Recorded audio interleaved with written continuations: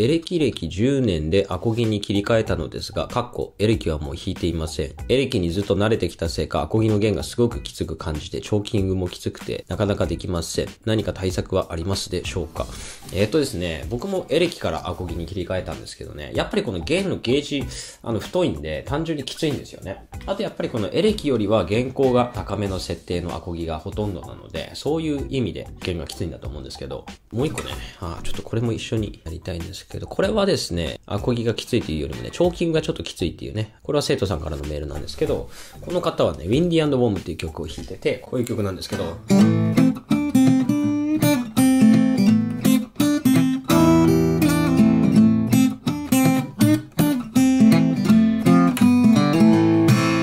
こういう曲なんですけど、ここの。こう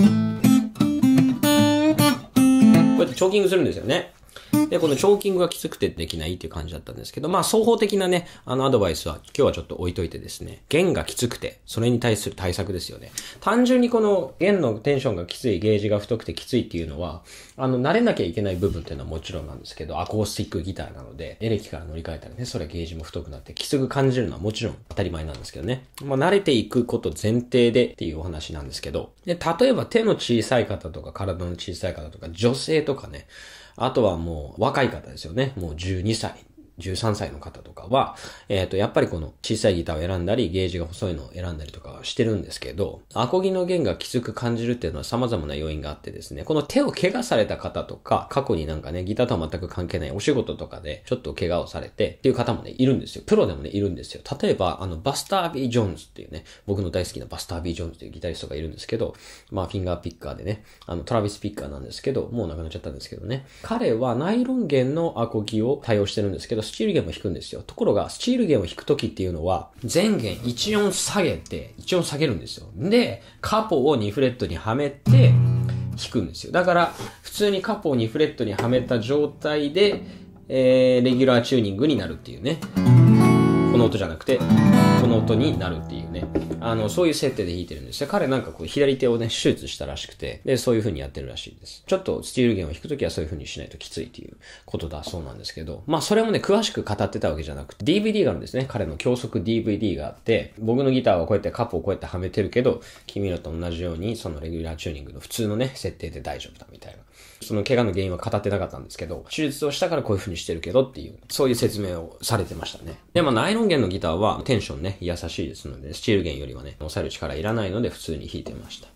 で、あとはですね、単純にこの弦のゲージを細いのを使ってる人たちもいっぱいいらっしゃいますね。僕はライトゲージ12から53だったり、ボトムが太いのがね、56だったりするんですけど、レギュラーっていうのが13からのゲージセットなんですよね。で、ライトゲージが12からのゲージセットです。これフィンガーピッカーの人ね、ライトゲージいっぱい使ってますね。僕もライトゲージ使ってます。あとはね、カスタムライトっていうのもあるんですよ。カスタムライト。細い方3弦はエキストラライトで、太い巻き弦ね、3本はライトゲージ。これがね、カスタムライトっていうゲージなんですよね。で、その下がですね、エキストラライトっていうのがあるんですよね。エキストラライトは11から始まるゲージのセットになってます。で、エキストラライトを使ってるギタリストっていうのは、スティーブンど忘れしちゃいましたね。ちょっと調べますけど。今ちょっとネット触れないような状態になっちゃって、後でちょっとテロップ出しておきます。この人です。この人はですね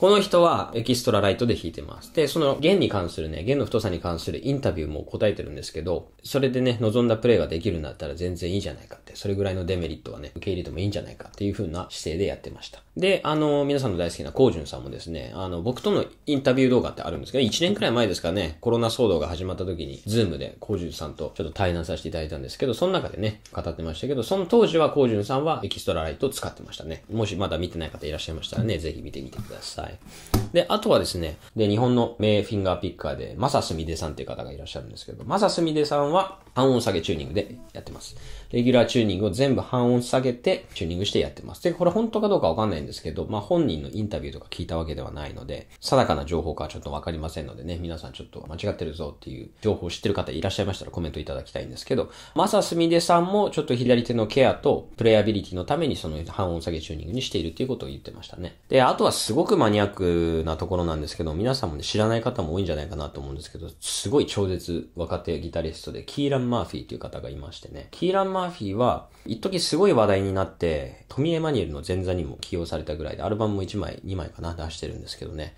あの、なんか彼は音楽のキャリアをやめてしまったらしくてね、すごいあの残念だなと思ってたんですけど、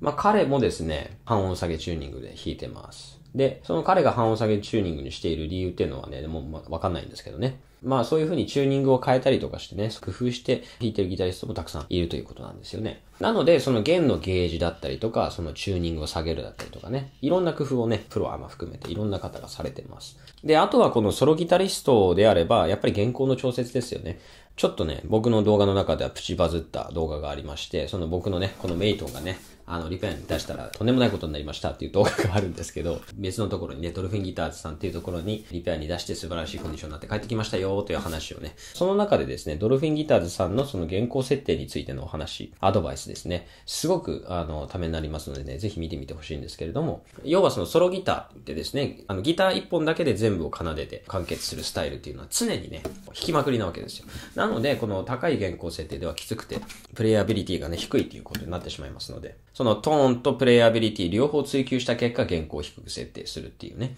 そういう人が多いんですけれども、まあ、原稿を低く設定するっていうのもね、あの、手の一つなんじゃないかなと思いますね。それがまあ、三つ目でしょうかね。あとはですね、きついきついってね、思うかもわかりませんけれども、無駄な力って必ず入ってます。無駄な力は必ず入っている。なので、この、例えば正波コード、正波式のコード、まあ、F にしましょうか。F をね。こうやって押さえた時って、この人差し指ってね、なかなか頑張ってると思うんですよね。で、何をしてるかっていうと、人差し指はとりあえず全弦を押さえなきゃいけないから、この人差し指で6本弦全部を押さえる力を入れてると思うんです。ところが F コードって、この、ここの和音ですよね。あの、5弦から3弦まで。この人差し指以外の指が押さえてくれてるわけですよ。なので、結局、人差し指が頑張って制覇しなきゃいけないのって、6弦と、2弦と、1弦。この、この3本だけなんですよね。この3本だけ。なのに、このガッってね、6本全部押さえなきゃって無駄な力を入れてるわけですよ。他の3本の指のね、この3本の指のサポートがあるのに、人差し指はその分も頑張っている。これ無駄な力じゃないですか。ここをやっぱり省エネしていかなきゃいけないっていうね。あの、ソロギター弾いてるとそういうのがいっぱいあります。ソロギターじゃなくてもね、いっぱいあると思うんですけども、まあコード一つ弾いててもそうだし、メロディーとね、ベースラインを同時に弾いててもそうだし、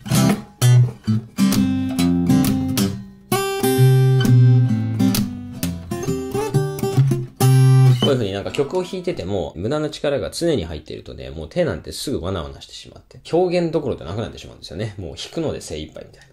失敗しないので精一杯みたいな風になってしまいますのでね。それはやっぱり音楽を楽しむ上でちょっと損なんじゃないかなと思いますのでね。まあ今まで言ったこの上げてきた要素ですね。なるべくこの自分がやりたい音楽にとって何が有効なのかっていうのを、ね、考えて取り入れていただきたいなと思います。で、なんできついのかっていうね、ギターが原因なのか、そのギターの設定が原因なのか、ギターとか弦とかのプレイアビリティの関係で自分の弾き方が影響されてしまっているのかっていうね、悪い影響を受けていないかどうかね。あとは単純に自分の弾き方、姿勢ですとかね、そういう要因がね、複合的に重なり合って、プレイアビリティという風になりますので、ぜひですね、一つ一つちょっと見直していってもらいたいなと思います。はい。あとはこのチョーキングのことは別の双方解説でやりましょうかね。単純な双方解説の疑問として受けても、このギターが原因だったりとか、そういうこともね、やっぱあるんですよ。そのギターじゃな厳しいですね。僕でも厳しいなっていうね、そういうこともありますのでね、やっぱりこの一つ一つ自分なりに診断してしてみるっていうのは大事だと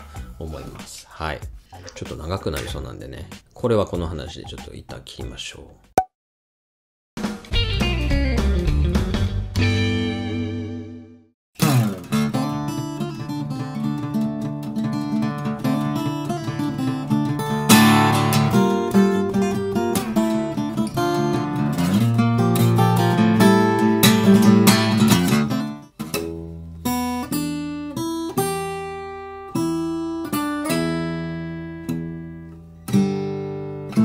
下から2番目。2番目に太い弦の3フレット目。1、2、3ね。このナットから見て。